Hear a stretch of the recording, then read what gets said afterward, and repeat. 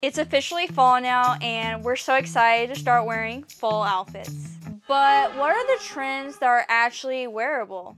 I haven't done a fashion trend video in a long time, but fall is one of my favorite seasons to dress up for actually. So let's discuss what are the fall fashion trends for 2024 and see if we can recreate it from our own closets, but in a more modest, wearable way. Disclaimer, just because it's a trend doesn't mean you have to follow the trends. It's just nice to get inspiration from. At the end of the day, just wear what makes you feel comfortable.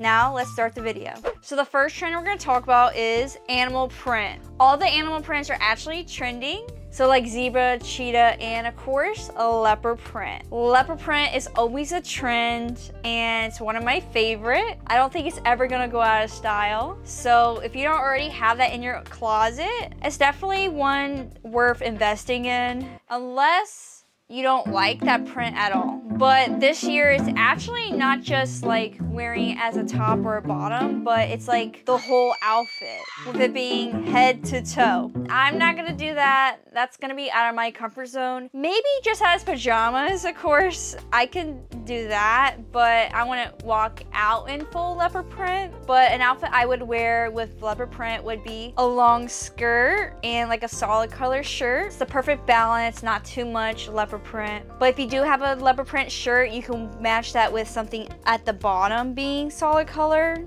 So it won't be too out there, but the, there is the trend with it being full. But you don't have to go that extreme.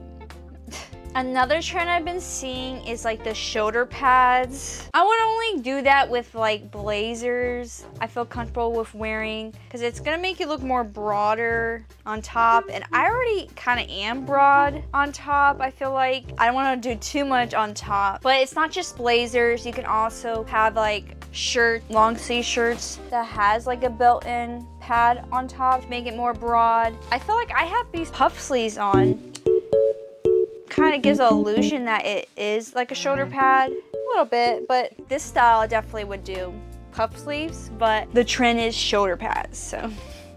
Suede, if that's how you pronounce it, is the next trend. It's not spelt like how it sounds, to me at least. But what it is, is soft leather, fuzzy looking material. For the trend, you often see it with jackets, shoes, purses. And I do have a button up in that material. I believe it's that material. Close enough. And also these uh, boots, I think. This one's definitely soft. This one's more on the rougher side. Next is patterns. Prints like camo and plaid are popular. It's funny, I really love those prints as well. So, you know, I guess trends and me can get along sometimes. But this trend can be paired with other trends as well. For example, my camo pants with the suede trend. Felt like the colors went together because it's just a solid color button up.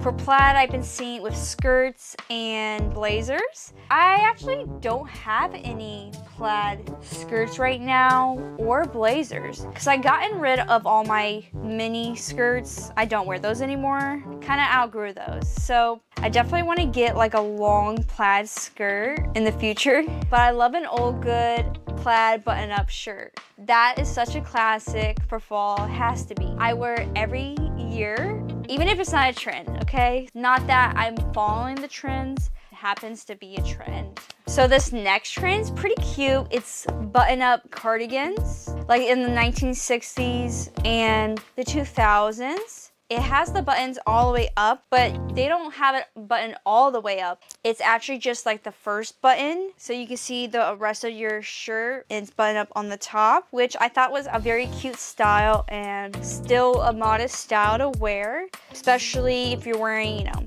a tank top, but I do wear tank tops a lot because it's hot here in Florida. Some people are not comfortable wearing tank tops, but I am so hot. I don't want to be sweating in my shirts. So I rather wear a tank top. But once it starts to get colder, I definitely will want to wear some more cardigans. Don't have many button-up cardigans though. I have one in this video, but it's my sister's. When I go thrifting again, that's something I'm gonna look for.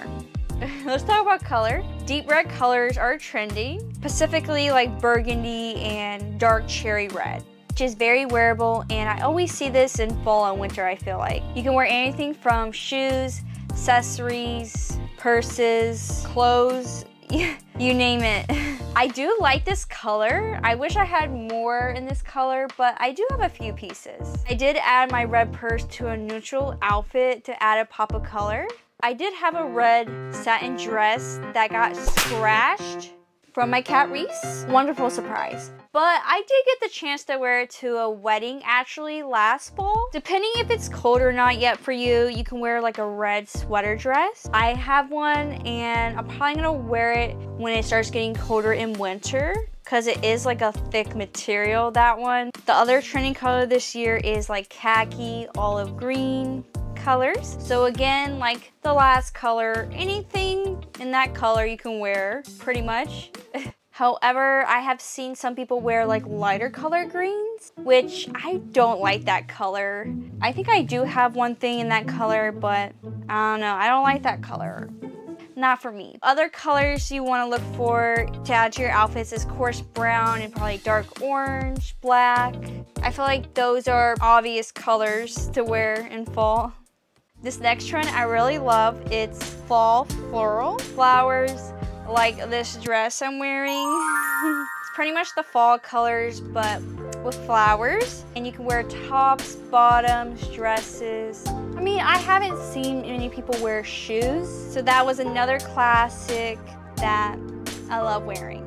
So this next trend, I don't think I'm really gonna do it this year, but it's prep school. This one is for grown-ups, inspired by school uniforms.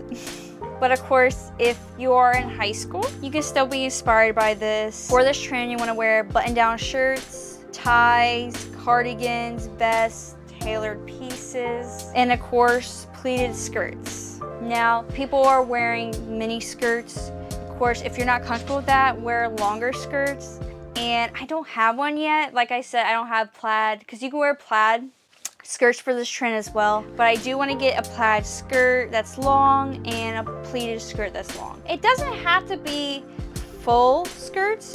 I want something that's not mini. I want something more of a comfortable length. but nowadays they do make skirts with shorts built underneath or you can wear your own shorts underneath but I don't have time for that.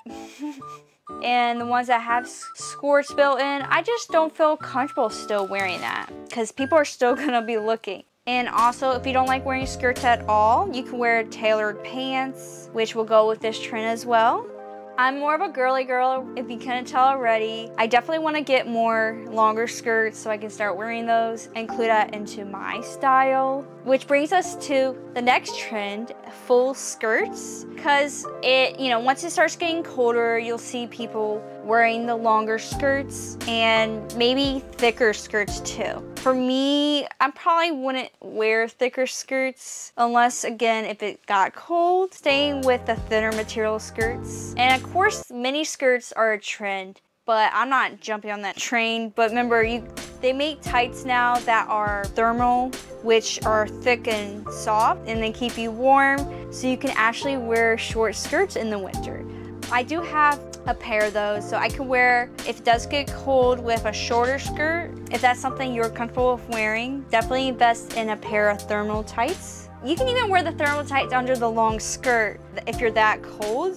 So this next trend, I actually did this trend last year and I still kind of do include it. Western inspired.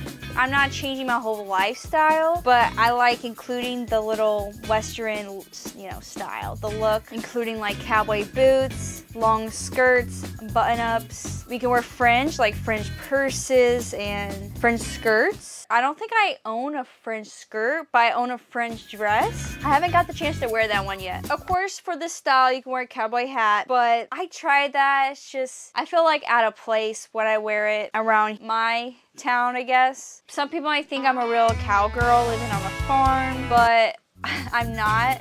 I'm not a poser. It's just I'm inspired by the pieces. This next trend, you can mix it with Western inspired actually. Boot cut jeans and wear like your cowboy boots with it because boot cut jeans look good with pointed toe shoes, I believe. So you can also wear those shoes, heels that are pointed toe as well. But yeah, you don't have to be Western for that. It's just I would be styling it that way. I still wear skinny jeans, of course. That's something I've always wore. So I still have a bunch of those. But I try to change it up, not just for the trends, but for myself. Because I do get bored of wearing the same clothes all the time. So I do change it up a little bit. For the shoes trend is structured boots, not boots over the knee. Because that used to been a trend with boots over the knee. But the trend is under the knee, I guess. Which can be styled with all the trends, of course. And also kitten heel boots. I don't own a pair yet, but I definitely wouldn't mind trying that out in the future because they're supposedly easier to walk in. These fall trends are always reoccurring. Some of them you may love or